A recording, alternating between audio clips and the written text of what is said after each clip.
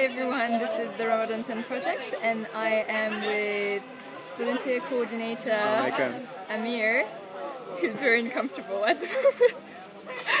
Can you just tell us um, how you got involved actually? Because I don't know that about you. Oh. You were not here last year. Oh, I was here last year actually. Were you? I was here on the weekends when Oh. I was working at Islamic Relief and I'd work there five days a week, so Monday to Friday.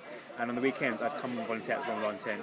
Um, how I got involved this year was I spoke to Umar all throughout the year about Ramadan tent and how excited I was about getting involved.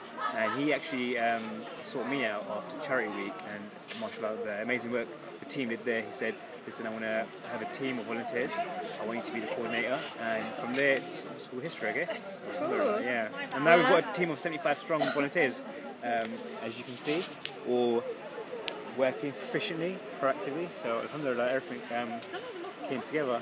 So, get involved. Get involved at the Ramadan tent. Malet Street Gardens, guys. Come.